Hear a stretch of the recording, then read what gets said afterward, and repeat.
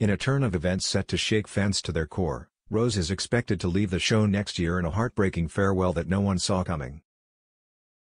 Earlier this month, dedicated fan Belinda Sinclair witnessed actress Kirsty Marillier filming what appeared to be her character Rose's gut-wrenching departure scene, a moment that will undoubtedly leave audiences reaching for tissues. The scene captures Rose driving out of the bay, her departure seemingly final. As she prepares to leave, Irene, Kirby, and Bree come running after her, forcing her to stop. The three friends stand by her car, and, in a tearful moment, Irene hands Rose a small parting gift, softly saying, There you go, love. In the brief but powerful exchange, Rose hugs each friend in turn, her eyes filled with emotion as the gravity of her decision sinks in. Just as she's about to drive away, Kirby breaks the silence with a spirited call, Go get him, detective sparking a chorus of cheers and well wishes.